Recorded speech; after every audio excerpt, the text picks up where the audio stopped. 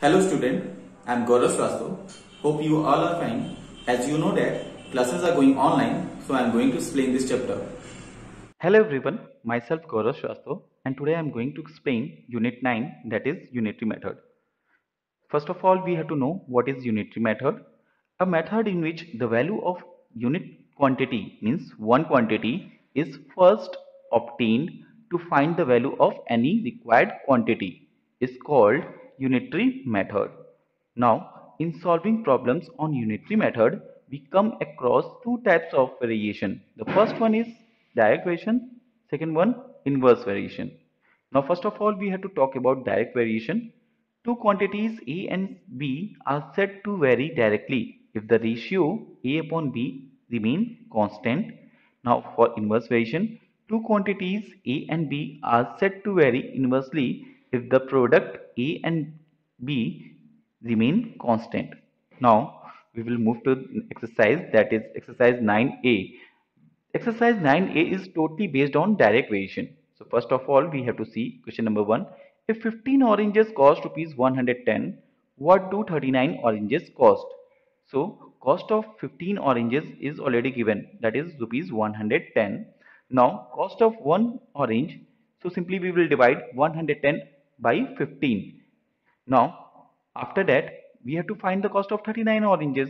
So cost of 39 oranges equals to 110 upon 15 simply multiply by 39. Now 39 and 15 can be cancelled by 3. 3 1 ja 3, 3 3 ja 9 and 3 5 ja 15. Now 5 1 ja 5 and 5 2 ja 10 and again 5 2 ja 10. So 22 multiplied by 13 it will come rupees 286 is the answer. Now we will move to the next one that is question number 2.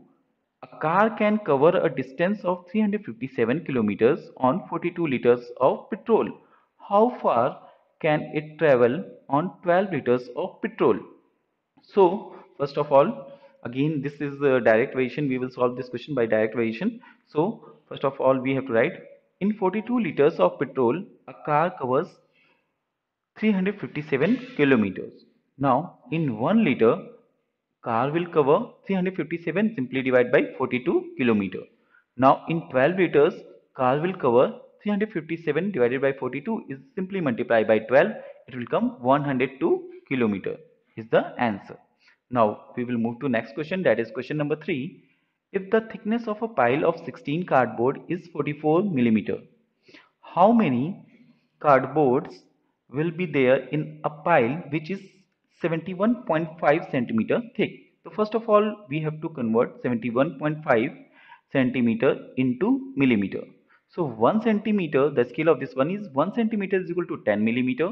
So 71.5 centimeter equals to 71.5 multiplied by 10 it will come 715 millimeter. Now according to the question number of cardboards in a pile which is 44 millimeter thick is 16 so number of cardboards in a pile which is 1 millimeter thick. So we will divide 16 by 44. So number of cardboards in a pile which is 715 millimeter thick. So 16 divided by 44 is multiplied by 715. When we solve it will come 260 cardboards. Now we will move to next one that is exercise 9b. Exercise 9b is totally based on inverse variation. Inverse variation means the product of two things is constant like A and B is constant. We will see if 48 men question number 1 if 48 men can dig a trench in 14 days how long will 28 men take to dig a similar trench so 48 men can dig a trench in 14 days. So a man will dig the trench in 14 is multiplied by 48 days. Because this is inverse variation so here we are doing the multiplication of two things. Means first 14 is multiplied by 48 now for 28 men will dig the trench in 14 is multiplied by 20, uh, 48 whole upon 28 divided by 28 when we solve it will come 24 days. This is the answer of first one. Now we will move to next question. That is question number 2 this is question number 2 A girl can finish a book in 25 days if she reads 18 pages of it every day.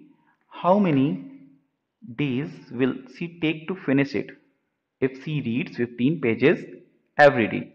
So again this is inverse variation. Direct variation we are dividing but inverse variation we are simply multiplying. So here by reading 18 pages a day a book is finished in 25 days.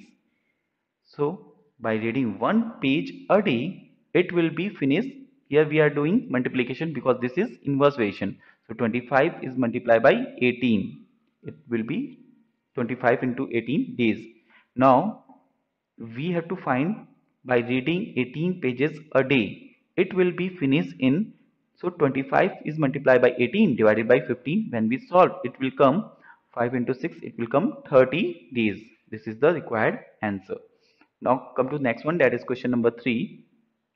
1200 soldiers in a fort had enough food for 28 days.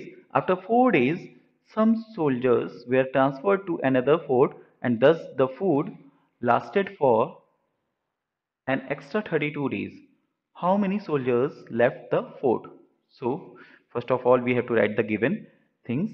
Period in the beginning is 28 days number of days passed equals to 4 days so remaining period yeah remaining days equals to 28 minus 4 it will come 24 days now the food is sufficient for 24 days for 1200 soldiers the food will be sufficient for one day for 1200 multiplied by 24 because it is inverse variation so simply we will multiply now the food will be sufficient for 32 days so 1200 multiplied by 24 divided by 32 when we solve it will come 900 soldiers. Now number of soldiers who left the fort equals to 1200 minus 900 equals to 300. So this is the required answer. Now we will move to the next one that is homework for you all. Solve exercise 9a and 9b from R.S. Agrawal. Thank you everyone.